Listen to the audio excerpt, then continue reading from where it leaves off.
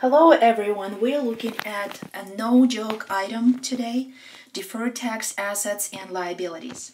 So let's pretend for a second that Little Bo Peep Incorporated is suing your company for losing her sheep. And it's quite a lawsuit for a thousand, well, not a thousand, how about a million? How about a million dollars uh, due to punitive damages? You called up your attorney who said, hey, sure enough, it's very probable she will win. You know your GAAP rules. You have to accrue your loss due to lawsuit right away as soon as you know it's probable. And you will show a contingent liability on your balance sheet. So loss will obviously create a lower net income right now on your books. However, if you take a looks return, the IRS does not allow you to deduct the loss until you actually pay it in cash. So there's no difference right now on your tax return.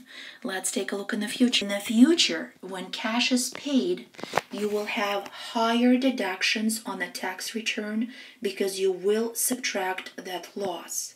And it will create a deductible income on your tax return.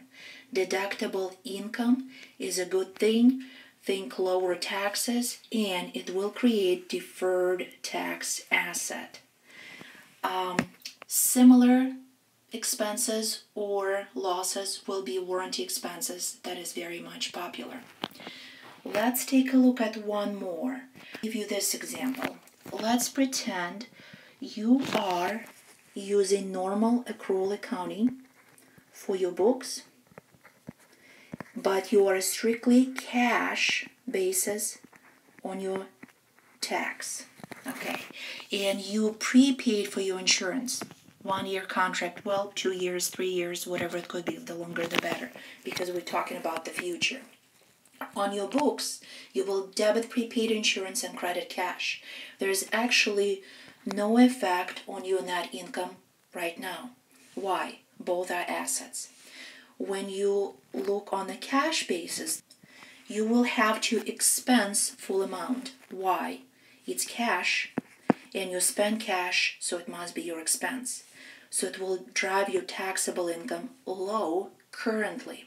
However, in the future years, in the future years, your deductible expenses for this item will be zero. You already spend them up. If your deductible expenses or your deductions are zero, that will drive your taxable income high, creating higher taxes in the future, or it will be deferred tax liability. Okay, key items as you look at various items that might be on your CPA exam. Maybe create a chart like that. Know your accrual basis of accounting very well. See what's going on on your books.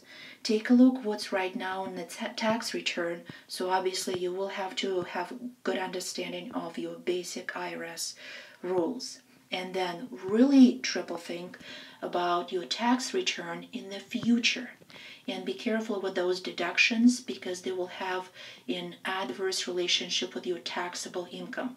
The higher your deductions, the lower will be your taxable income.